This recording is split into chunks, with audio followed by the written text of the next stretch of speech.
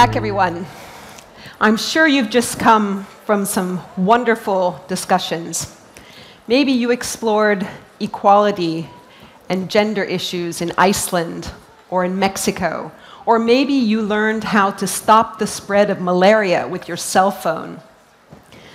The decisions between the fascinating sessions that you'll have on offer in the next couple of days will be some of the hardest decisions you'll have to make here at the Women's Forum. And of course, your choice of what to go to depends on your own personal mission and vision for change in the world. Our next panel, we're going to welcome on stage a number of women who are going to share with you their personal visions and missions. Remarkable women, women who are working for women's empowerment. I'm going to introduce our moderator now, Su-Mei Thompson. I'll invite her to come to the stage. She's the CEO of the Women's Foundation, and I'll invite her to come forward to the Women's Forum stage and introduce her panelists for us. Su-Mei, over to you. Thank you very much. Excellent. Uh, do I go here? Right. Hello, everyone, and it's a real uh, honor to be here. I'm Su-Mei Thompson. I'm CEO of the Women's Foundation from Hong Kong. Um, and I know a number of people from Hong Kong are tuning in at this late hour, so hello, everyone. Um, a very warm welcome to this evening's panel featuring five extraordinary women who are going to be sharing their insights and their stories. The session is called Bearing Witness to Change. We're going to be discussing and exploring generational advances in women's empowerment in terms of constitutional rights, reproductive health, access to education and employment, and the amplification of women's voice in media and beyond. But at the same time, we're going to be looking at the iniquities and inequities that women continue to face in terms of violence against women, poverty traps, social norms disadvantaging women, and why we haven't made more progress on these issues over the decades. But please, first, join me in warmly welcoming to the stage our panelists. First up, Patricia Barbizet, CEO of Artemis and Vice President of the Board of Directors of Kering Group. Next, Theo Sowa, CEO of the African Women's Development Fund and a member of the Women's Forum Programme Committee. Melanne Verveer needs no introduction, but she is the Executive Director of the Institute for Women, Peace and Security at Georgetown University, and she was the first US ambassador for global women's issues. Welcome, Mona Al Marri, Director General of the Government of Dubai Media Office, Chairperson of the Dubai Women's Establishment Board. And last but very much not least, Virginie Morgon, Executive Board Member and Deputy CEO of Eurazeo. So the panel and I are going to have a conversation for about 40, 45 minutes, and then we're going to open the floor to your remarks and questions. So please start getting ready now. Um, I'd like to start, ladies, with constitutional reforms because new laws are clearly powerful drivers of social change. How have constitutional reforms helped women, particularly when you consider their effect in combination with religions or faiths that continue to deprive women of rights? So, Patricia, to kick off our discussion, we're here in lovely Deauville. Vive la France! Can you share how the women's agenda has progressed in France since your Mother's Day um, and how secular legal reforms have helped to empower women. Then, Theo, I want to move to you. How have constitutional legal reforms impacted women's advancement in Africa? Mona, what are the most significant legal reforms that have impacted the women's agenda in the Middle East? And then Melanne, reforms around the world very piecemeal, kind of fragmented. You know, we know that 128 countries have laws that distinguish between men and women. So let's look at what's happening at the global level, the UN, Beijing Platform for Women, and, and, and uh, CEDAW. Okay, Patricia. Thank you, Su-Mei. I'm very happy uh, to be there for the 10th anniversary of the Women's uh, Forum. I've been part of the founders with uh, Virginie and a few others, so it's a great honor and pleasure to be, to be there today. A lot of, of, things have changed in France since my mother days on, uh, relating to women. It's difficult to summarize in two minutes, but a lot have been gone through the evolution of society and the evolution of the laws, of course. One going, of course, with the other. Laws change when society is, is able to accept them or to nurture them or to push them or to make those things happen. In the main different areas where things have changed uh, through the laws, one in four different topics. One is clearly education. It's been some times when the girls have been obliged to go to school in France, but it's less time that they were, they were going to school everywhere or choosing what they wanted to study or having the same programs and even being, being accepted in the top schools we have in France. It's only under my generation, I was happy enough in 73 to access the business schools in France, and we were the first generation, only, only 25 girls in a whole uh, men, boys uh, school at that time. So that was the last point for engineer school as well, and that was only the moment where things were really open for education. And it has been, of course, the major, major impact because nothing is possible without education. The second thing is about voting rights, of, of course. It's, it's, uh, it was in 1944 in France, but it's still a real progress and, and, and important points. Uh, and it, it, it, gave the opportunity for everybody to, to discuss and to say and to be elected, which is important as well because it's only when uh, those women started to be elected and now to be really part because we have some laws to uh, make uh, what we call the parity. So in the election, we have to have as many female as male, and that's of course a key point as well in the in the uh, political area in France. The third maybe field that things have changed is about, I would, say, I would call it freedom or independence of women, what they could do for themselves. And of course, I remember the times where I was a kid that women could not have a job without the approval of their husbands.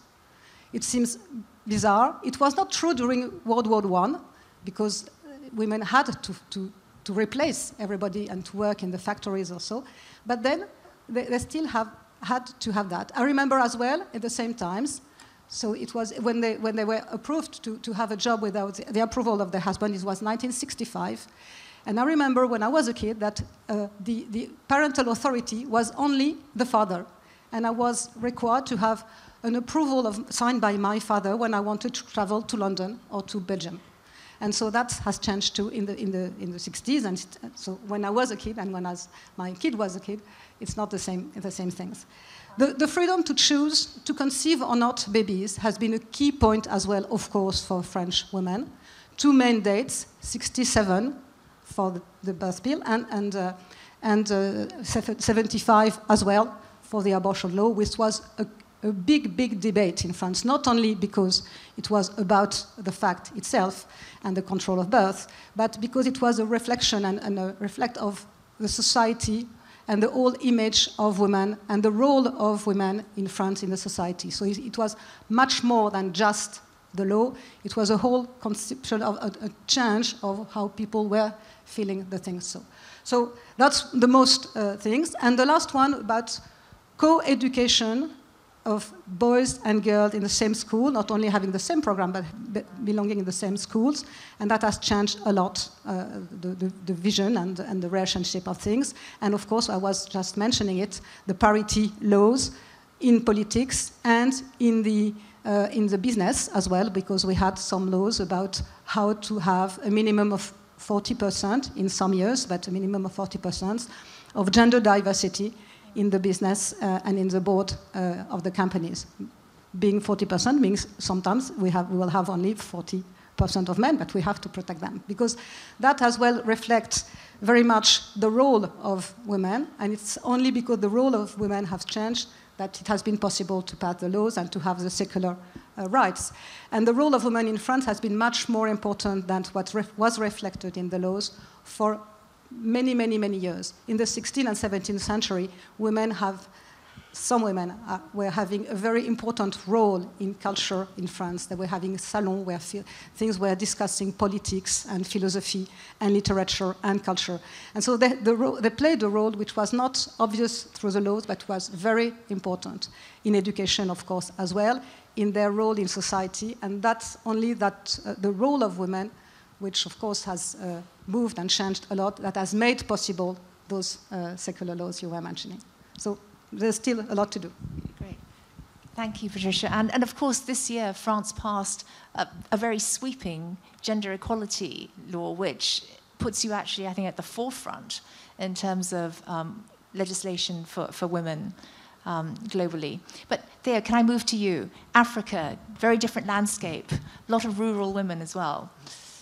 Okay, so Africa is so big and so diverse, and that's one of the first things I wanted to say. So, when we talk about legal frameworks um, to, that protect and promote women's rights, it's very different across the continent from places like South Africa and Kenya, where you have excellent constitutions which have very good provisions around equity um, or places like Rwanda, which has managed to have, for three elections running, over 50% of their parliamentarians being women.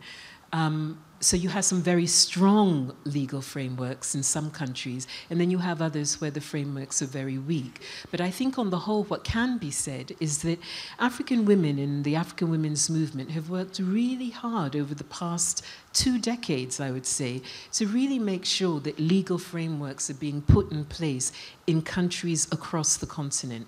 And you can see that now. You can see much stronger domestication of international conventions, but also very strong African led legislation and conventions. So you look at something like the Maputo Protocol, and actually, I think that's much stronger on women's rights, on reproductive health and rights than some of our global um, conventions. So I think that legislation is there, and people have worked really hard at it, and the women's movement in Africa continues to work really hard at that. My worry is a worry that isn't just about Africa, but is actually global, which is that you can have the best legislation in the world, but if you have not changed people's hearts and minds, if people don't recognize the values and the principles that underlie that legislation, then you don't change anything. All you do is prepare yourself for another fight. So I think that we actually have much more to do in terms of making sure that we truly have got legislation and legal contexts that reflect what is happening on the ground, that are implemented properly.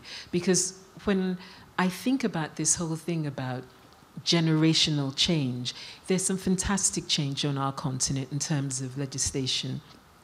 But at the same time, I think sometimes we've lost some of the um, the the, not the change, some of the things that empowered women traditionally. Because I know my grandmother was a really, really strong woman. She came from a matrilineal, you know, um, group of uh, clan, and that meant that some of the equalities that existed for women in my grandmother's time actually have slipped a bit under some of the laws that we inherited in many African countries under colonialism, which actually brought in changes that we didn't have.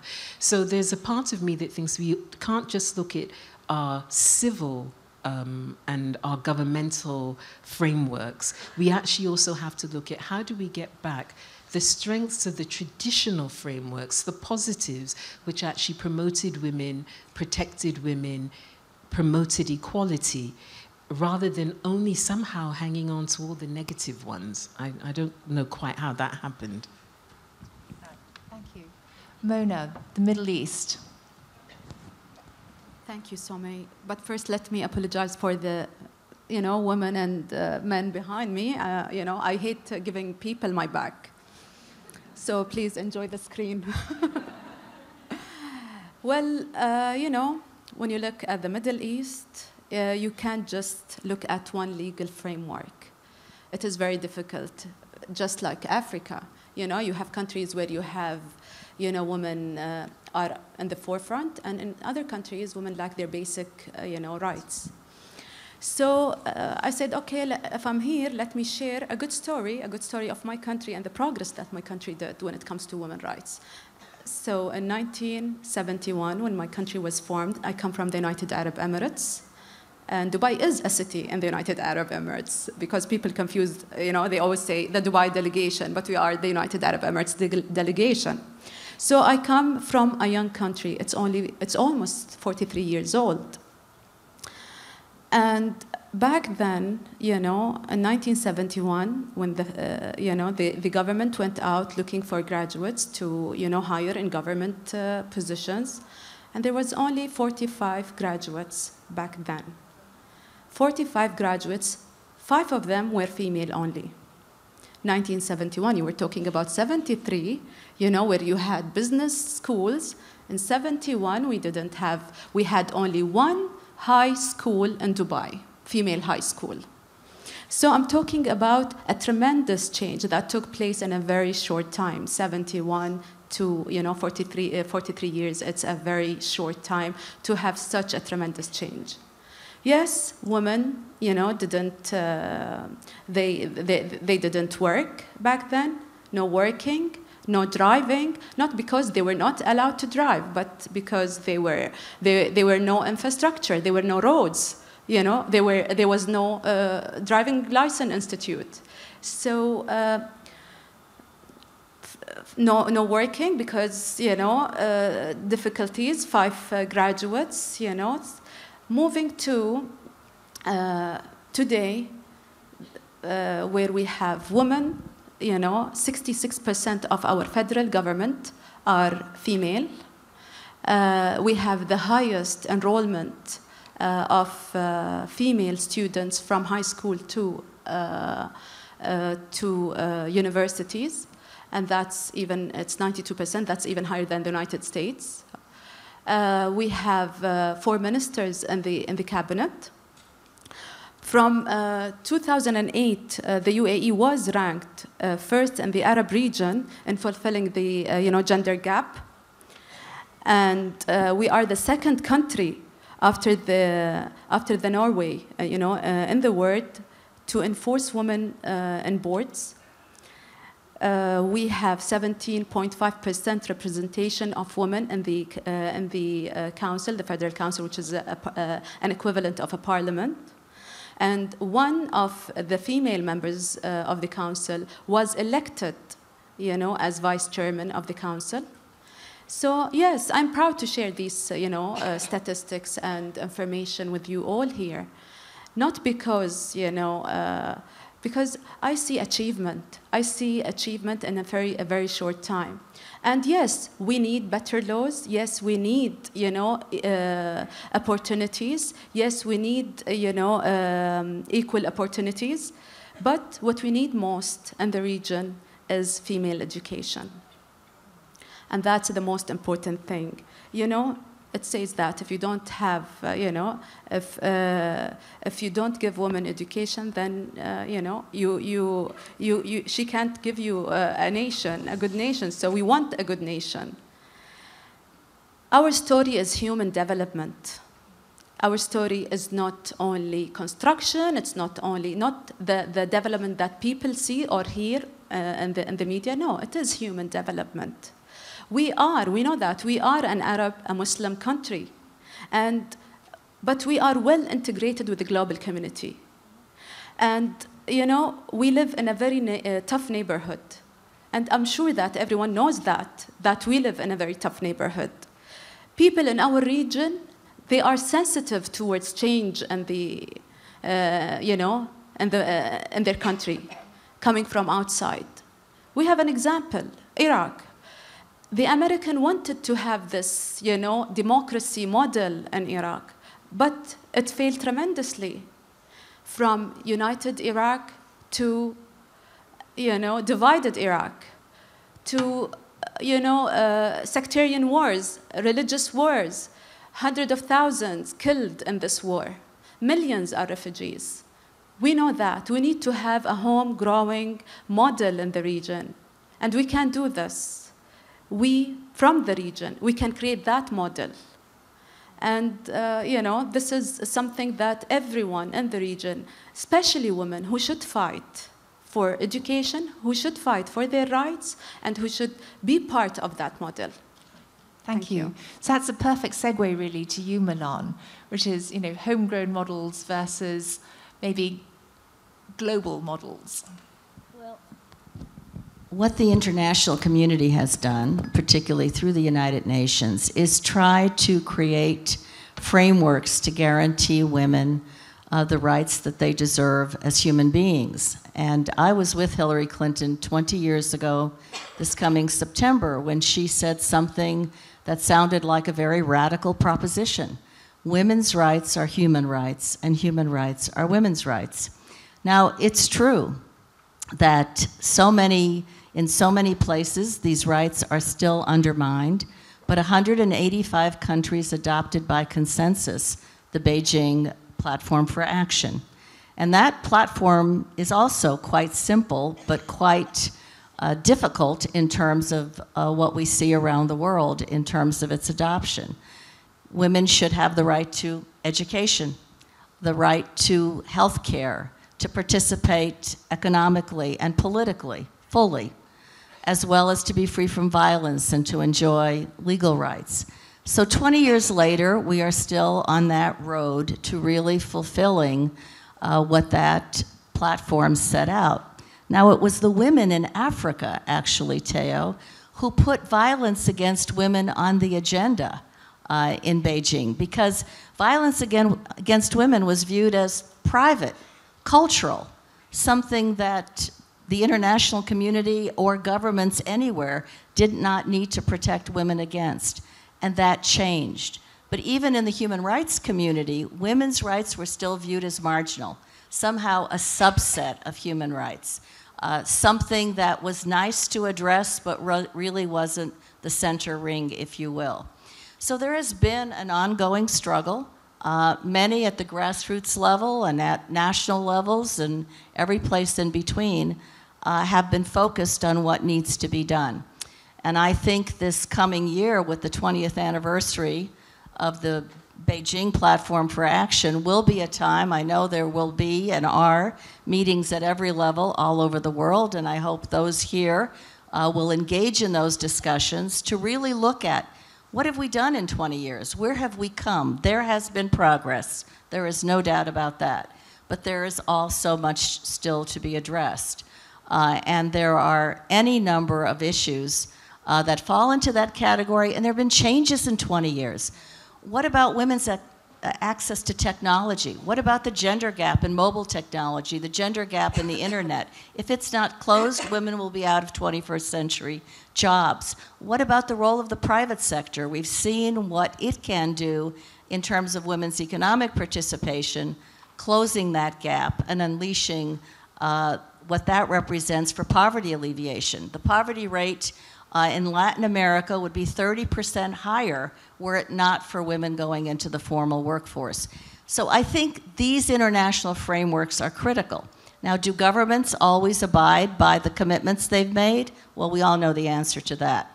Uh, but the reality is that whether it's CEDAW, the Convention to Eliminate Discrimination Against Women, uh, which has been adopted, uh, whether it's this agenda that has been adopted by most governments, uh, some by consensus, uh, there is still work to be done. And one of the things that's always been striking to me, that even in CEDAW countries, where the governments have underscored they are committed to no discrimination against women, despite what we know the evidence to be.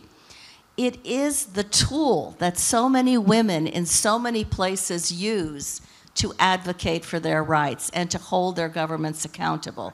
Sometimes it works, sometimes it's a harder uh, road to hoe. But I was in Afghanistan uh, working with a, a, minister whose mind I was trying to change on violence against women and their need to really implement the law. And he gave me every kind of reason why, you know, I was just representing Western values, which was hardly the case. This is what I heard from Afghan women to raise. And finally, in desperation, getting nowhere in terms of this ideological debate that was going on, I said, But you know, sir, you ratified CEDAW. you subscribed to the Beijing Platform for Action? And his answer was, I've been telling our foreign ministry not to sign on to any more of those international agreements. Why? Because they were being used within the country as a force to advocate for change. So we still live in a very imperfect world for women. We still have many, many challenges. But these international frameworks can give us uh, the kind of construct because they are universal. They have been widely adopted, even though widely not implemented in all places uh, but certainly a, a, way for us to go forward. Thank you. Um, I'd like to continue the um, theme from earlier on about security of women and violence against women and why it is in the 21st century men and boys continue to perpetrate violence against women. Um, and you know, we know that it's a, a global phenomenon. Um, apparently, more than one in three women have experienced some form of violence or harassment. Virginie, I know you're very involved with human rights um, and this topic in particular. Um, are women, why are women not safer now than they were you know, previously, um, both in the developed world and in the developing world, um, where early forced marriage, uh, trafficking, still massive problems. And Theo, just have to ask you, you know, we just watched aghast when the 200 schoolgirls were abducted um, earlier this year in, in Nigeria. How could that have happened? And you know, what's your take on that? Thank you, Su-Mei. Um, I'll come to the question in just one second, and I'd just like to emphasize one comment after the, the first topic that has been addressed. My concern um, is that, yes, there's been a lot of changes you know, with legal framework, convention um, at different levels, domestic, international. But we have to, to pay attention um, on a daily basis to make sure that what has been achieved over time in a number of Western and emerging countries is actually still in place today. I think my concern, my worry is that not only do we have to think ahead, in order to continue to make things change at different levels. But we also still have to fight on two fronts that we may, you know, we may felt were already achieved by the previous generation. The first front is to make sure that when you have a legal framework in place, it's actually being implemented, which is very often not the case, including in our Western countries. If, if, if I'm correct, the, the, the Gender Equality Act um, at the workplace in France is probably dated, you know, early 80, and we're still fighting to make sure that women and men are equally paid in, in the business environment in France. And my second concern is that even a set of laws that we have passed in a number of countries, you see that they can be challenged later on Take the example again in France of um, the Sexual har Harassment um, Act at workplace, which is dated 90 something, which was, you know, challenged a few years ago in France for being anti-constitutional, and then reinstated. And you know, so I'm, I'm just saying, let's be. We have to be on, you know, 360 degree fights ahead, but also behind making sure that you know, what we've built or what our, the previous generation has built is, is being effectively you know, implemented or you know, protected. On the issue of safety, safety of women, um, I've been personally involved with Human Rights Watch um, for some years. And, and, it's clearly with these hats that I'm, I'm, going to respond to that question. Unfortunately, I think women's safety in both Western, Western European countries or emerging countries has deteriorated significantly. The one out of three um, ratio that you've mentioned is one out of three women in European Union that have you know, been exposed to violence, domestic violence, or some form of sexual, assault. I'm not even talking of sexual har harassment at the workplace, which is another issue, um, since the age of their age of 15, and that's the European Union. Um, so you don't have to go very far to be facing uh, increasing safety issues. I think for, for, for Europe, it's, it's a combination of a higher number of immigrants, of the economic crisis that we're facing, and I'm a strong believer that we have to reinforce women's protection in the current environment because in, in the context of an economic crisis, the first one to be you know, hardly hit are the women. It's the case everywhere. We see it through you know, a number of deterioration of their social positioning, but that also creates you know, domestic violence. So talking to Human Rights Watch, their two main concerns as we speak, as far as women are concerned, is domestic violence across the board, across the world, and um, child marriage, um, early, early marriage.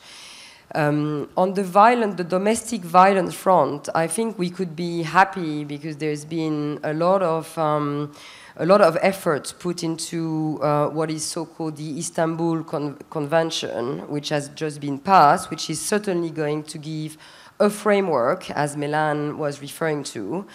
Uh, there's about 14 or 15 states which have signed that convention. Now you just need to make sure that at least they apply, you know, in their domestic set of laws um, the, the, recommendation of the Istanbul Convention in order to fight against uh, domestic violence. Um, that to me is absolutely key, and um, it, it's, it's only a start. And of course, on, on, the second issue, which you know we all uh, look at with great emotion, as you know, mother, daughters, um, it, it's this very early child marriage uh, issue. Um, I'm being told that out of 700, there's 700 million women in the world today that have been wedded earlier between 15 and earlier than 15 or slightly late, you know, slightly later than 15 year olds. And I'm also being told that there's 14 million wedding of younger uh, girls younger than 15 year old every year in the world. But the consequences of this goes well beyond just this, you know, horrible number and this emotion. The consequences are very poor level of education across the board, you know, going through, you know, the, the entire society.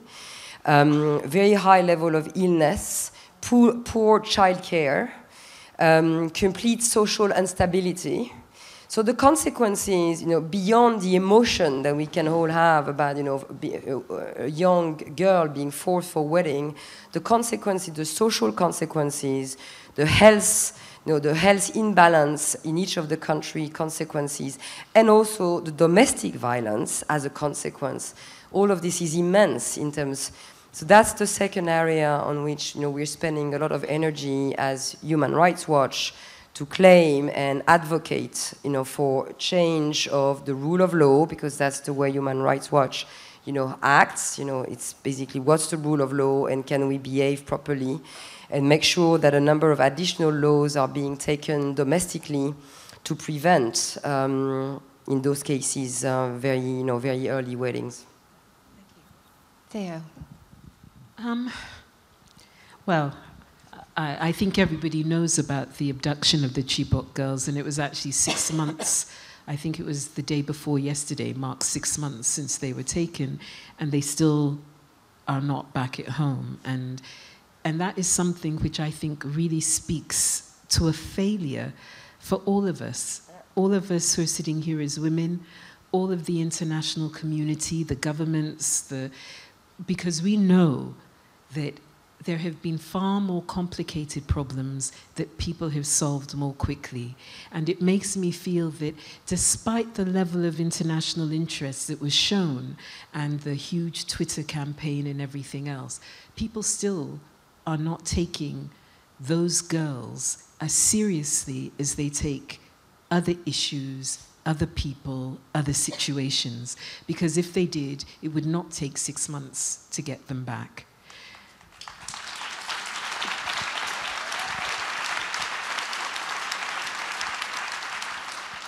I think that the, the other thing, and I can't talk about it in, in just a, a two minute slot, but I do think we all also need to look at what lies underneath this. It's really easy to push it off and say this is about religious fundamentalism. But bottom line, it's not about religion at all because there's no religion in the world that actually approves of that kind of action. There are huge issues around social injustice, around inequity, around political um, imbalances that have fueled the ability of a group of well, I, I, don't even know how to describe them, I, and I won't describe them because I use language that is not appropriate in a big room. But a group of people to take this really horrendous action. But I think what it says to us as well that we have a responsibility to look overall. Because when we talk about issues of poverty, about issues of education, I think we forget the extent to which the lack of those rights, the lack of our protecting the rights, actually allows people to take actions which damage individuals and families and communities in really long term ways. So we shouldn't be blithe about our analysis of what happened. Those 200 girls are at the tip of an iceberg. There were more than 200. It's just that some managed to escape along the way, and the 200 are still there. But in northern Nigeria, students have been murdered in their beds well before those girls were abducted, and nothing was dealt, done about then. Since the girls have been abducted, there have been other people in those communities who have also been abducted and taken across borders. So, yes, I want to see those 200 girls back because for me now it's also become almost symbolic. I want us to prove that we care that we care about women and girls. And if we can't solve that, then I think everything else we're talking about ends up being rhetoric. And the issue of violence, and this is the ultimate violence, is something that all of us can recognize. Virginie was talking about it in terms of what's been happening in different parts of Europe. We know what's been happening in conflict zones in Africa, but more, even more so in so called stable countries where women's safety is clearly not a priority for many of the people who have the power to change that. So we can't change everything at the same time, though I think we absolutely have to fight to get those changes made. But I do think that when it comes to the Chibok girls, we need to do more and we need to do it now. Maybe that can be a tweet that goes out from everyone in this room. Thank you as you say, it's important to look at the underlying issues. And, and here, I wonder if we can segue to a question about stereotypes and the reinforcement of stereotypes and how women continue to be objectified, how um, the media continues to sexualize women, um, and whether the media's portrayal of women has changed enough over the past generations. Um, so, Patricia, Kering owns a number of fashion brands. Are they starting to rethink how women are portrayed in their advertising? I come to fashion, but I just want to emphasize, I'm, glad, I'm glad that uh, Virginie and Theo emphasized the fact that it's not about law, it's about implementing of the law. And it's our personal duty, each of us, every day, to make sure that it's not only coping with the law or even uh, applying, but make sure that we promote women, we take care, we take care of everyone, everywhere. And it's true that uh, in France and it's uh, in, in, in, in the business areas, some people have been saying, now we have the laws and the figures and the quotas, so it's enough and we'll just cope with it. It's, it's just the beginning, beginning of the story. And it's true in every field. We, we have to make sure that any single woman in any field is taken care of, to be promoted, to be educated, to be uh, given confidence and given trust and given opportunities to act. If you not test, you will not succeed. If you not try and try again, you will not succeed. If you're not given any opportunity, you will never give the proof that you are able to, to accepting. So it's, it's, a, it's a personal duty for each of us and for everybody, not only uh, uh, us, of course, but as well men and women, but to make sure that on any area, things are making, are, are making progress because there is so much done, but so much, so much to be done yet. So it's really important. So thank you for both of you to have emphasized that. Back to fashion. uh, just two comments. First, fashion is reflecting the times. It's not the other way around. Uh, so um, it's, it's, it's a, a, common goal of what's the image which is given and what's uh, uh, what the, the times is, is, and the women are, are, reflected in fashion. And sometimes some designers having even been in advance to reflect what was in the air. Saint Laurent, for example, in the 60s, when he decided to promote the black suit or the black smoking or the trousers for women, was really clearly feeling that the role of women was really evaluating. So it's, uh, fashion is really uh, moving on with that. Coco Chanel, of course, was having a political, even and, an influential uh, impact on that as well. Uh, and the second thing about fashion, fashion embodied what the image of what each woman have, has of herself. And it can be different types of person. You're not obliged to be always the same or to see you always as the same woman. And I think that um, uh, this is personal and this may change from time to others. And I think that in our group, we feel that it's important to have different brands reflecting different types of, of, uh, of women, which, who can choose to, to, to be or to be inspired by one or, or the other. And we have to make sure that all that is, is reflected and it's not a stereotype of what we propose or what we answer as, as, as those questions. But all that has to be done in the respect of women and its, its rights. And every one of us has heard about Salma Hayek uh, Pinault uh, earlier today, making how important for the group, uh, for the Kering group, those areas are and how, how committed we are in the group, through the brands, through the actions, through any type of actions to make sure that dignities of women's rights are protected from everything from the very essential rights to, to the image, of course. And so it's a permanent, permanent um, wish and, and action and, and, and, uh, and commitment of the group through all the different areas and through all the different persons who speak for the group for that. Did you want to jump in? Um, I suppose I just wanted to say on the issue of stereotypes, a very quick story. Um, last year, we um, every year at the African Women's Development Fund, we partner with an organization different organizations to try and raise the profile of successful African women and African women's leadership. So we did something around photography with a European arts foundation that worked in, in Ghana. And they sent the girls who were doing this photography course away and said, go away tonight and take pictures of African women and then come back the next day. And then the next day, they all came back with different pictures. And one of my team had gone to the workshop and she came back furious because she had taken pictures of people working in our office. Another woman there had taken pictures of an African fashion designer she knew. And the third person had taken a picture of her sister who just got a job running one of those earth digger machines. And when they went back, the European people leading the um, workshop said, Oh, but these aren't images of African women.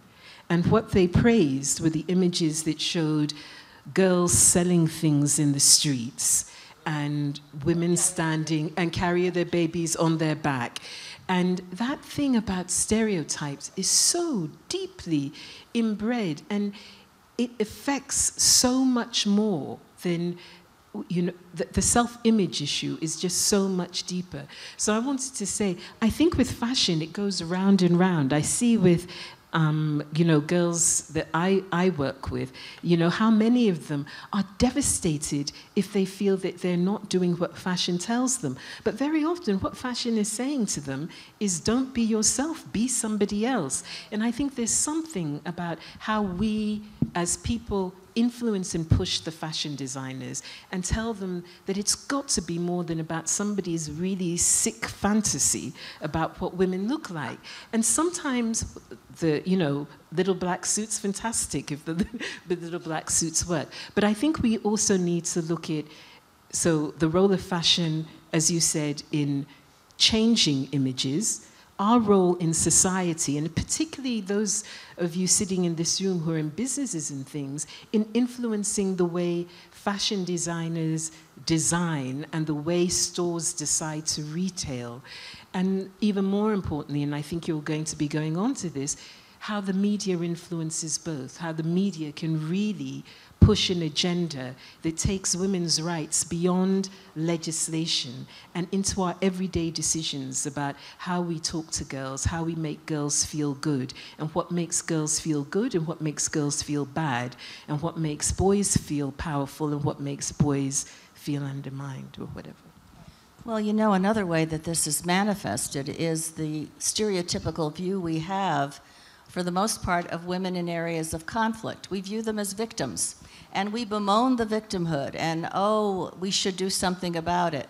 But they don't see themselves as victims. They see themselves as leaders, they see themselves as people empowered, if they were more empowered, to be the kind of change makers they want to be. And this hit me so uh, much like a two by four over my head one night when I was uh, in another place. Um, where I had heard so much about these poor women. And the first one started a conversation by saying to me, Stop looking at us as victims and look at us as the women leaders that we are. And I think we've got to really see this agency, this voice that women have. Now, where do we come into it? We really need to validate their positions, we need to help them raise their voices, and we need to empower. Because what Theo said about these terrible situations, as in northern Nigeria, they represent something even larger, which is a lack of investment in human development, a lack of investment in education, uh, in the kinds of empowerment that would make a difference. Now, it is true, the radical extremists, the jihadists, their first victims are focused on women. Uh, and what are they most fearful of? A girl with a book. Look at Malala in Pakistan. Uh, look at what ISIS is doing in the horrors that it is perpetrating today. Boko Haram means Western education is forbidden. So, perpetuating ignorance, perpetuating illiteracy, perpetuating oppression comes at a cost. It comes at a cost to the individuals, but it comes at a, as a, at a cost to all of society. Uh, so I think we really need to reconfigure how we look at these investments, which are critical, because it is true that the most dangerous places in the world are the most dangerous places for women.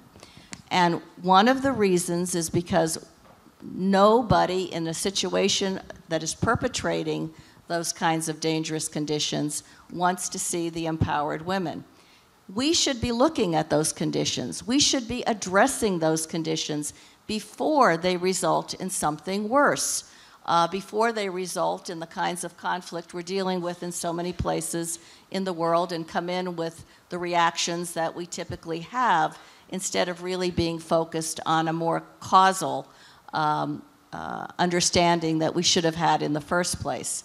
So I think this whole area of the denial of women's rights and oppression leads and goes hand in hand with instability. So, if we want to prevent instability and conflict and, and worse, we really need to look at the condition of women and begin to empower them in ways that they see themselves as agents of change. Let me just say that the, the United Nations, in its Security Council, the council that looks at security, because women are not often discussed in the same context as security, linked women to peace and security. And what they essentially said is we have to look at ways to prevent by looking at the conditions that women are experiencing. They're the canaries in the mines. Look at what's happening to them. We've got to enable them to participate more fully in the discussions around ending conflict. not just allowing both sides to give themselves amnesty to what they did to the women for what they did to the women instead of really addressing conditions. And we've got to protect them, realizing today they are on the front lines of absorbing uh, all of the targeting that's going on. So we have a huge job ahead of us. And a lot of it for, for those of us in the room is to really endorse the kinds of um, investments that need to be made and then to ensure that our governments are responding through their diplomacy, through their military operations, through their development, focusing on these issues, where more often than not, these are marginal considerations. Right, right. And we need intelligent media reporting on all of this. So we've done a little bit of light media bashing, I feel. Um, but, but Mona, you are the queen of media in Dubai. Um, oh, that's. Let, us talk about um, how uh, you know the Arab Spring. You know, social media was a huge force there. How have both traditional media and social media been empowering women in the region?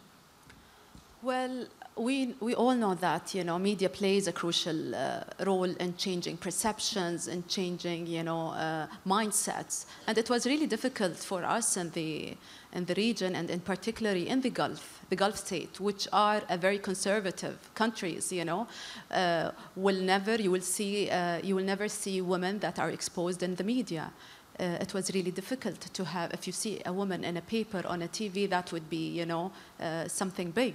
So that was our challenge, to change the mindset of the society, even if we have the, uh, the support of the government and they want women to work, they want women to you know, go out and speak about their experiences, they want to hire them, they want them to be leaders you know, of this country, but the society, the mindset of the society was a bit conservative of having women working in, uh, in different sectors. women were only allowed to work in health and education. That was, you know, I'm talking about the 70s and the, uh, and the 80s uh, till maybe mid 90s. So empowerment does not only come from hard work. Empowerment does not only come from you know support of your government. Empowerments come from the society, not not your you know your your circle, not your fathers, not but the overall society. And the traditional media played an important role in that, in changing that perception within the country in changing that you know perception within the society uh, you know through profiling, you know, women, having their pictures. You open the, the, the, papers, you see different faces. That gave confidence. That gives uh, even, you know, uh, families felt okay having their uh, daughters being exposed. I think the most important thing, it's not today, it's not through uh, the traditional media, it is through social media. That is today is our challenge as women from that part of the world. Uh, uh, a very tough, you know, uh, neighborhood. Uh, we live uh, in a hot uh, pan, so we never know what will happen next to us or to our children, to our daughters. We should utilize social media well not only locally or regionally, but also internationally. I want people to change a perception of the way I look. You know, they, they have this perception when they see an Arab or a Muslim covering her head or wearing a scarf. They don't see the brain under that scarf. You know, they don't see the, uh, the personality so that's what I want to, cha to change today internationally, and that's what also I want to change through social media. I want to change a perception that has already been, uh, you know, damaging my image internationally. I want to change that. That's my job. Being here is, you know, playing that role. I've seen, you know, I've seen even my colleagues sending out tweets, you know, uh, uh, hashtagging the forum. That's all part of the social media change. Another important thing through social media, thank you very much. Another important thing that we can do as Arab women through social media is change policies you know, promote campaigns. Yes, we need to have new policies. like the Arab Spring, I, I see Arab Spring as, an, as, as uh, didn't work well though when men and women really worked hard to achieve a change in the, uh, in the region, uh, today as women and getting our rights, fight for our rights, it's through social media. I can really, you know, uh, campaign through social media. So our job is to do that and to do it all, not uh, a country, not, it's, it's, uh, it's a female job. It's women's job to do, to do that change. Thank you.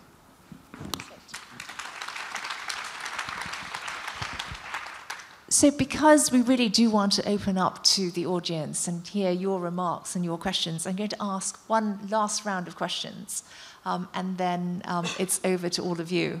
So, Virginie, we were talking earlier with your human rights campaigner hat on.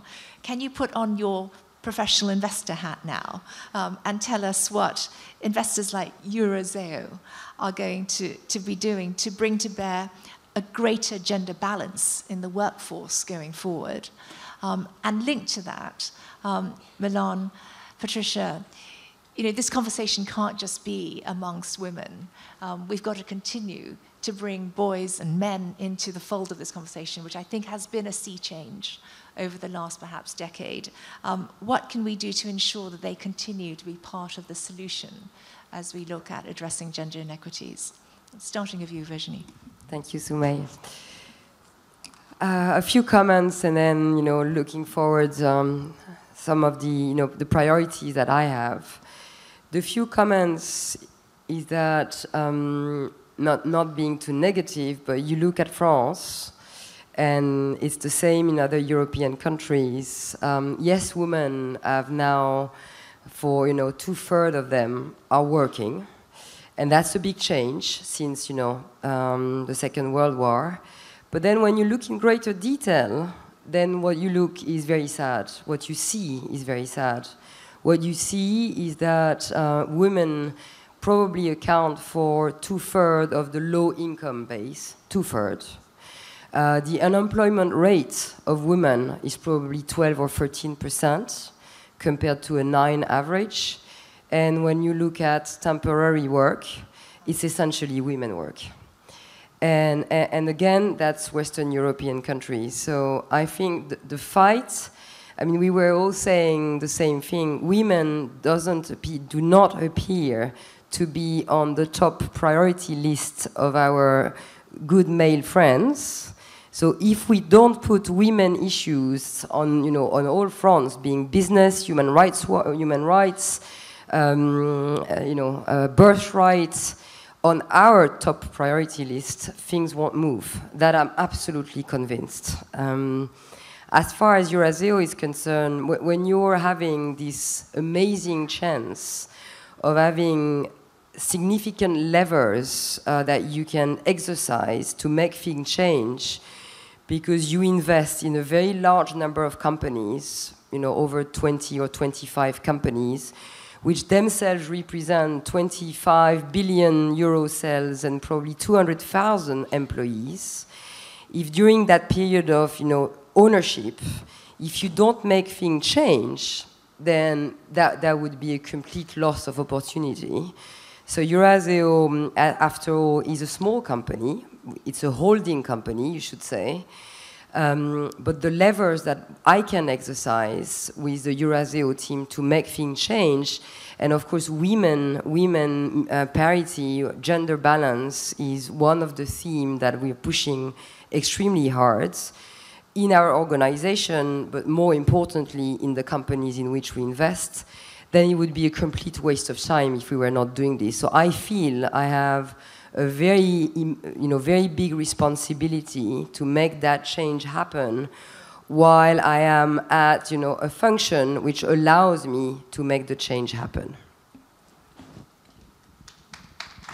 And, and Eurazeo, just remind us all, I mean, you have stakes in Accor, in which are the other big... In Europcar, in Moncler, in, you know, more industrial businesses, in... Uh, you know, right. 20 companies which are being, you know, either French or European, essentially European businesses. Right. So, ladies, these are all really good com companies to look at building a career at. right. Melanne, Patricia, who wants to go first? First, on the industrial side, I, I, I subscribe completely to what uh, Virginie has said on, on all the, the companies we have to, to work in. You, and and it's, it's nice to have men back in the, in the debate because uh, as you said very cleverly, uh, women's rights are human being rights, and so we have not to just to split and to make to emphasize that split between the two. That's clear enough. I remember I was lucky enough to be the uh, uh one, one day for the Women's Forum with Aung San Suu Kyi, the lady, who said, if you want to, to see things changing, you women educate your sons. And that will be the place and the things will, will change. So let's educate our sons, and not only our sons, our brothers, our husbands, our partners, whoever. Um, coming back from my personal experience, I was lucky enough to, to be in a large family. I have one sister, three brothers. My father used to be feminist uh, and even with the cultural world. And my, my mother was both an artist and a housewife, so it was a good context to start to do and to be empowered to do what I wanted to do. It was a very great support, and I'm glad because it's very, it was very, very important. I realized how the support and the confidence were given, and we heard that earlier today as well, um, that it's, it's really one of the key as well with education. Uh, in the long time of my career, almost 40 years, things have very much changed about the relationship between the two things. And I see two, two, two factors uh, who have changed. First, co-education. It is true in France that I've realized that men I, uh, or male I've met in my business uh, life or my professional life have completely changed from the day they were educated from the very first day with uh, girls at school. And so co-education at schools, and we saw that in Pakistan, even in the Pakistan school earlier uh, today, that makes a real difference because boys and girls are used to live together from the very first day and to realize that they can be good in math and good in science and good in literature in, those, in every. So it's, I think it has been, at least in France, a very big shift, a very big change, and it's, I, it, I think it was a real step in that. The second thing, it would appear for me, it's about generation change the, the, I realized that things had really changed, not only because we had uh, women at work or female working, then the husband or the, the brothers or the things, but the father.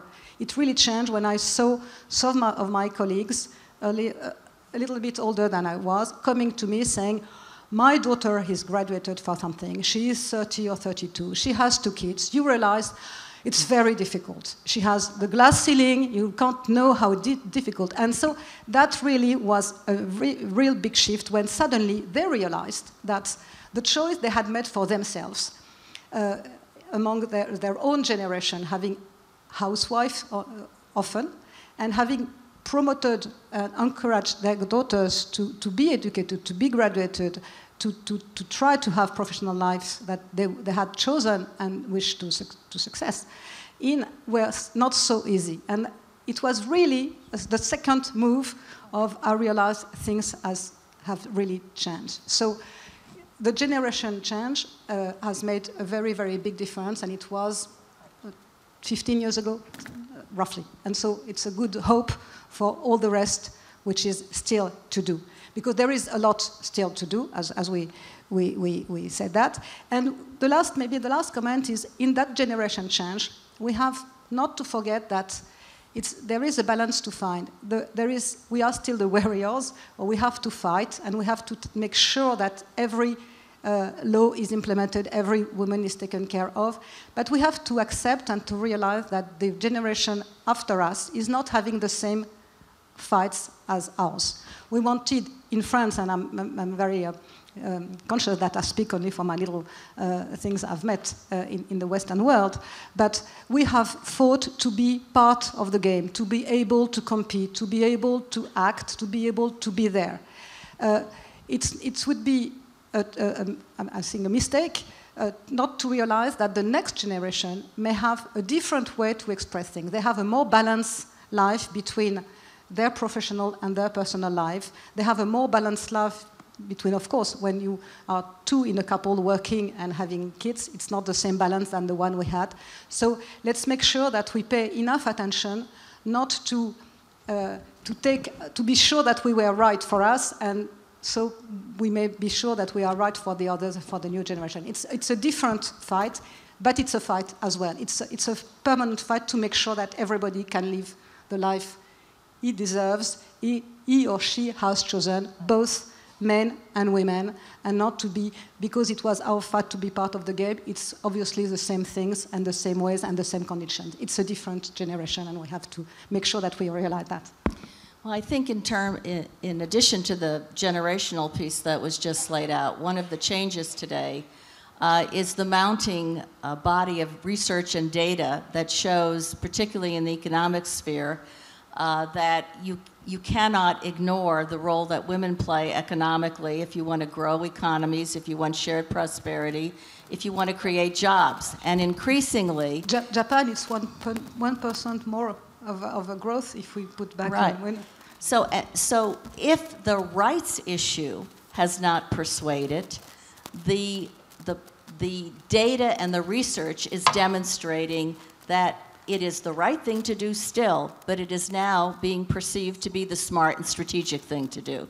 So you've got large numbers of CEOs coming forward, not yet in the record numbers we need, but to focus on diversity uh, in their companies, uh, to focus on growing women's entrepreneurship, to focus on uh, women's leadership, because the data shows companies' performance is better and they're more profitable if there are more women on boards of directors, at least the critical mass of three. We know that uh, economic growth is absolutely critical on the degree of women's economic participation in the formal workplace. So that has begun to create change. So you see people like the CEO of Coca Cola, the CEO of uh, Renault Nissan. Uh, Kering has been a real leader in this place. I had the pleasure of uh, moderating a panel at CGI with your CEO and absolutely committed to these issues. So we need this group to broaden, and I think the critical way it will today is because of the evidence-based case, if not the rights-based case, which I would not give up for a nanosecond, but we're talking about outcomes here.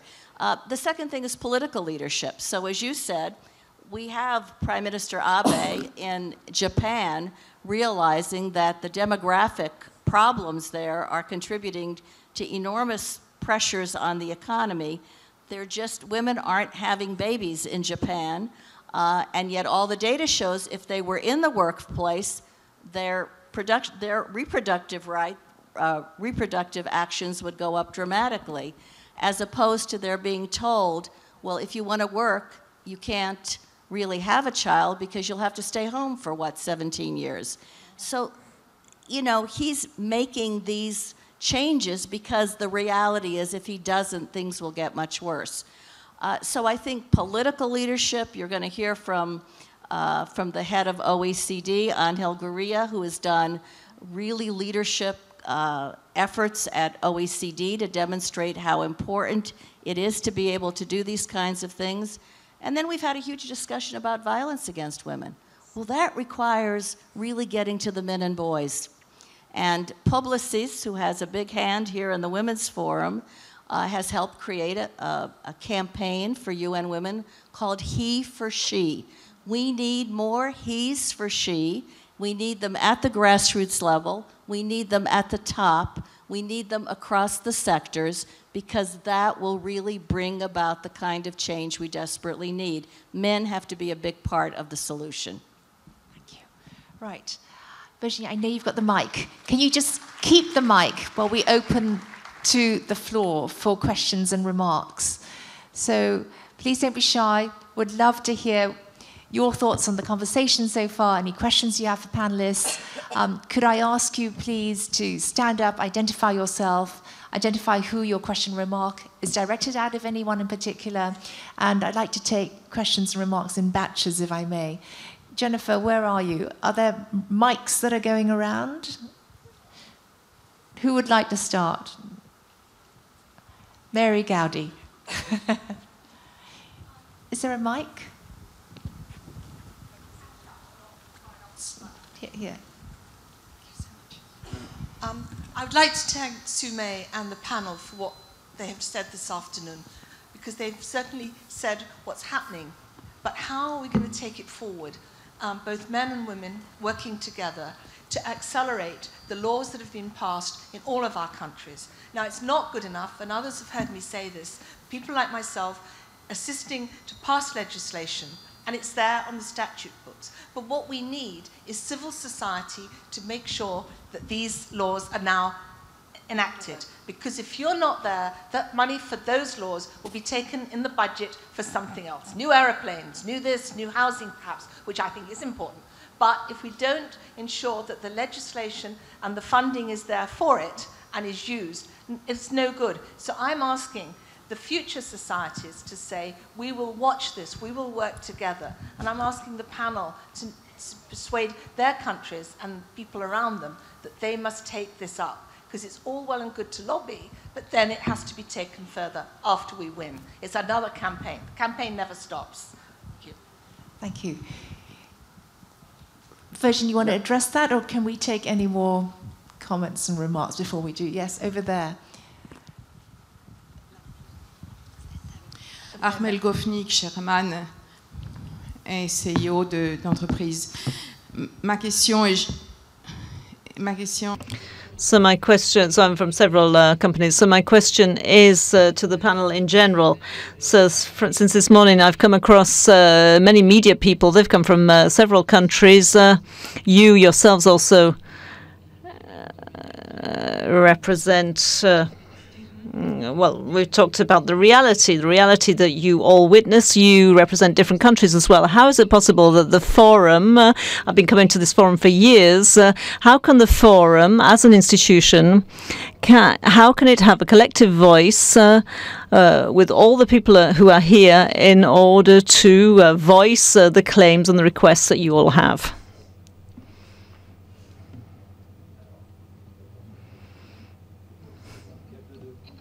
Well your question. I think it's about how the forum, we have seen many, many people saying many, many important things, and media people as well, and how is the forum as an institution able to promote a global idea or a global commitment or global things. Uh, I'm tempted to say, maybe because I was part of the, the first uh, generation of the, the founders of the, of the forum, that it has always been the case. I mean, it was exactly what the forum has been created for, to, to make uh, the, the, the and I don't want to speak on behalf of uh, Jacqueline and the others, but as, as a, a, participant to the forum for all those years, it's, it's my understanding that the, the, forum has been created to make a platform where women could meet other women, but not only to talk about network, not only to talk about themselves, not only to talk about their needs and rights and things, but as well to make uh, heard the voice of the woman for economy and society. That's the thing. It was not women speaking to women about women's problems. It's what it was. The women represent half of the planet. They have something to say about everything, about economy, about society, of course about human rights, of course about women's fights, of course about education, but as part of a global thing. And it's uh, I'm really happy to see that after 10 years, there's so many newcomers, so many people uh, each year really interested in those, in those ITs and items and, and areas, and both from political to education to, to, uh, to cultural uh, or professional things, to carry the, the, what the women have to say on every single topic. Thank you. Thank you. So, Mary, we haven't forgotten your point, but maybe one over there, and I think that was common over there. Hi, my name is Rama Sofia Rashti from uh, United States Press Agency. Uh, I'm glad to see some uh, fellows from the media here. Um, I followed the conference uh, last uh, a couple of uh, weeks ago with a neurophysiologist She's working with the Institute Pasteur, and she was presenting and showcasing some figures and some results from scientists, very American, very serious scientists who are publishing comparison between the brain of the man and the woman. And these results are, you know, plenty published all over the world. And my question is, how can we lowering this gap between the uh, uh, difference and uh, you know injustice between the gender in the gender between the men and women in terms of uh, uh, salary and in terms of uh, enhancing the education once we are publishing this kind of results in and, and, and we are presenting them in, in, in during education, even at primary school. Thank you. Yes. Okay. Um, my name is Tara Feladrotoy. I'm from Lagos, Nigeria. I'm very pleased about uh, the fact that we're talking about bringing back the girls. Um, thank you, um, Mona Al Marri, uh, for trying to change the stereotype of Arabian women. We know African women also suffer the same. Um, and thank you very much for bringing that up. Um, for Theo, I'd like to ask a question. You said that we need to do more. What more can we actually do? What more? Can you give us specifics so that we can actually take steps? Thank you. Okay. Yes, let's start answering. Okay, I'll give a try on the business on the business front on a few of your questions, um, um, including including yours. Uh, I think what can we do uh, in the future? Uh, I think we can do many things. Um, I think um, I will always take the example of France, which I know well, but I think is very good illustration. Um, business-wise, um, for me, there's still a very limited number of CEOs yet who have this um, pure conviction that uh, having more women on board is a lever um, of performance. So if that's still not the case, um, the way to achieve what we're looking at, because we are absolutely convinced that performance is increased significantly by having you know, more women at the table because their judgment um, is very significant and very necessary uh, to the, the men's judgment.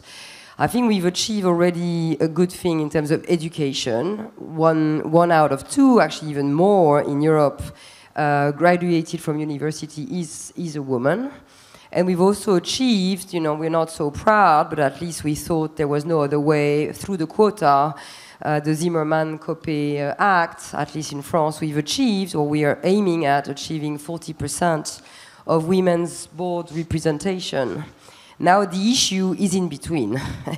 and um, in between, you know, creates a very big, you know, it's probably 40 year old of evolution in the business, in the business corporation, where we have a lot to be done. We, as executive businesswomen, we, as on the board of those corporations, um, and the progress we've already seen, um, which I think are extremely encouraging, when you have board women on the boards, they also happen to be hopefully on the nomination and remuneration committee of those companies, and uh, hopefully not simply on the audit committee. And if they are on the nomination and remuneration committee, you will find, funny enough, that they are the one and they are the only one to be asking for remuneration policy in the company, succession planning, and what's the rule of game, what's the rule of the game in the corporation when it comes to hire? I mean, do we want to have for each hire a woman and a man so that we can at least compare and we have the choice?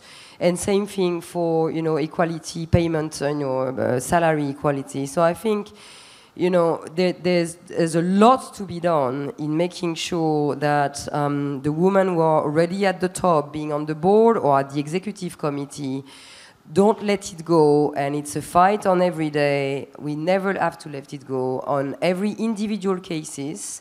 And of course on a more strategic strategic vision basis because again, um, it's sad to say, but um, you know, I think we are the only one to care at this at this point in time. Could I just follow up on the corporate suites and move to politics? Because of all of the areas, uh, as we look, where have the changes come? They have not come for the most part uh, in politics. We seem to be stuck in some sort of 16% ghetto at best. Uh, and yet, the whole issue of complementarity and balance is absolutely critical. Parliaments, decision making bodies of government, make decisions on behalf of all of us, men and women. They are predominantly male led institutions. And so, a range of issues never get addressed, or if they do get addressed, even where women's numbers are small but growing, they get addressed because the women put them on the table and then bring their colleagues along. And that's happened with violence against women legislation, uh, research dollars in women's diseases, you name it, it has played a critical role. So, one of the places we're missing the same kind of benefits that come to the corporate boardrooms is in an area that affects us all, which is what our governments do, and yet we don't have, for the most part, women's perspectives, talents, experiences focused on the issues that matter greatly. So I think this is an area that be- behooves us to do whatever we can uh, to grow tho- those numbers so that we have better decision making. Not because women are better than men or vice versa, but we have very little balance in decision making today. And I want to go back to the Nigeria question because I think that is a really important issue. I had a symposium just last week with the finance minister of Nigeria, just focused on this issue, and she's an extraordinary leader, uh, Ngozi Okonjo-Iweala. And there is much, with good reason, much sadness that the world community, which so aggressively was tweeting about the girls, has almost forgotten that they've been kidnapped, that they've not been found, uh, that they are still languishing if they're alive. We need to make a more concerted effort, not just on them, but the fact that so many of the schools in Nigeria, in northern Nigeria, where the attacks are coming uh, the hardest, are unsafe schools. And what she and others are trying to do is bring a pool of resources together so that those schools can be made safe. They, they need the most basic things. Who knows where the attack will come tomorrow? And we'll say, well, why did it happen? So, one of the first things in a very practical, practical way that can be done is to contribute to the kinds of resources that need to be raised uh, to make the schools, particularly in northern Nigeria where the attacks are coming, uh, safer than they are. And these are among the most basic needs that they have. So, if I just follow up on that, I think that the um, Safe Schools initiative that came up was one of the um, most positive things that came out of, of, of this tragedy, really. But when I say that we can and should do more, I really think that all of us are in a different position to do different things. Not everyone here has the same influence or the same voice, but we all have some influence and some voice. I, I agree with Melanne that there's an issue around resources. I would like to see, for example, people paying more attention to northern Nigerian women who were the first people to react to this situation.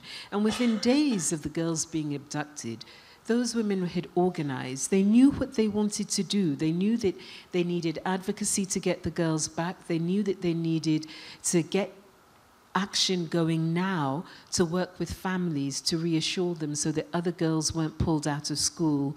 They knew that they needed to work in their communities to make the schools safer. They knew that they wanted to set in place a whole range of work with families and community leaders around psychosocial support and responses because the fear is that when the girls do come back, the things that will have been done to them will mean that they could be in danger of coming back to stigma and discrimination instead of actually being welcomed back into their communities. We need to find ways to support women in Nigeria to get their agenda underway and done. And we can do that partly by influencing the resources that go in. But we also need to do the bigger and longer term things. I cannot believe that we are in a world with the brains that people have and the technology that we have where we couldn't get together people who are clever enough, innovative enough, sophisticated enough to work out how we get these girls back. I know these girls are only the tip of the iceberg, but as I said before, I think it's symbolic. And if the Nigerian government needs assistance from other players, then those other players should be there and willing. I, I also agree. There was this huge, massive Twitter you know, campaign, and everyone was talking about the girls, and then they moved off onto the next topic. And at the moment, that's just not good enough. And the governments internationally, all of those governments who stood up and said, we're going to help, and then sent over a handful of people, you know, betrayed what they had said that they were going to do. So I think that the Nigerian government needs to do more about um, allying with other forces that can help them make inroads into this. I think governments around the world who committed need to live up to their commitments and not just say, oh, this is really difficult. It is difficult, but we've got a lot of difficult world, um, problems in the world that people have collaborated on changing. I think that people like um, Dangote in Nigeria, who committed to invest money into businesses and industries in northern Nigeria to help strengthen the possibility of employment in that area, was a, was a good start, but it's just a start. We need to do more about the underlying factors, about the poverty, about the lack of rights in the whole range of areas, about the political divides. And different people can do different things. We can't do all of it in one phase, but all of us can do something. And finally, I do think, though that I don't even though I say I don't think this is a, a religious problem per se, I think that religious leaders and other types of authority figures could have a really big role to play in actually trying to find other ways out of this mess. And I think it's really important that African traditional leaders, African religious leaders, and our political leaders across the continent, including the African Union, are part of showing that we care enough about girls and women to come up with a different way to sort out this problem.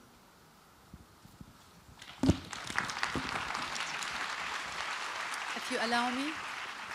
Yeah, of course. Uh, just to answer the question about you know uh, men and women and the test, uh, the brain test, I guess uh, she mentioned. Uh, well, I'm glad to say that even in my country, that you know, uh, men today they're afraid of the role of women that playing. They, they, they say enough of you know enough of you, enough of you leading positions, and that happened because we as women really fought had a great fight to gain and to get, you know, whether positions, whether education, whether, uh, you know, uh, leadership. And when you fight for something, you will give it, you know, uh, your best just to reach and achieve and to show others that you are as good as, uh, as them. Um, I mean, uh, we have uh, launched in 2008 uh, the Dubai Women Establishment, and the Dubai Women Establishment was launched to, um, you know, enforce uh, the uh, some, uh, you know, policies in the in the government. We wanted to be the the platform where government get uh, the chance to know what women needs, what are the women rights. We know that we live in a very fast you know, time. The government is not uh, as busy with other things, as busy with politics, as busy with business, infrastructure. So this entity really played an important role in making sure that, you know, women stay in, uh, in the workforce through introducing initiatives like the Child Care Center in government departments, which really uh, was one of the best, maybe, initiatives that was introduced. This initiative created, uh, you know, a, a, platform for women to stay at work, for women to proceed, uh, uh to proceed uh, uh, her career. All these things happen because of one thing, because we want to do this, because we believed in ourselves. We can change as women, we can change societies, and also we can change men's mentality. And no, like, you know, Arab women can change men's mentality.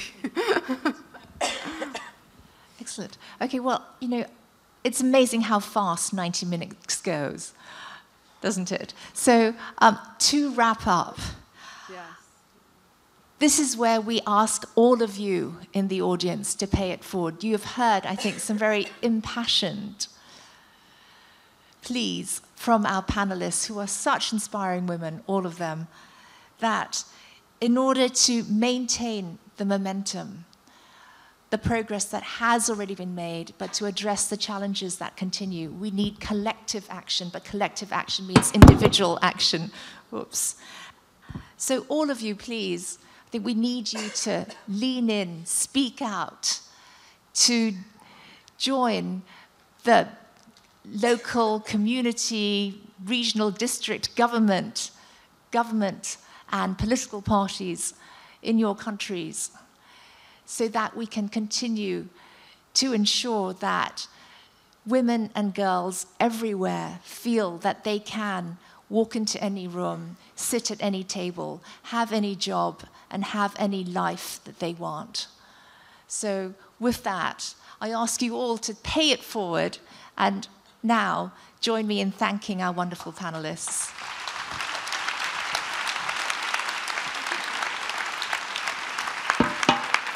Excellent. Thank you. Thank you so much, Su-Mei, for ably leading this conversation. And thank you again to all of our wonderful speakers for this.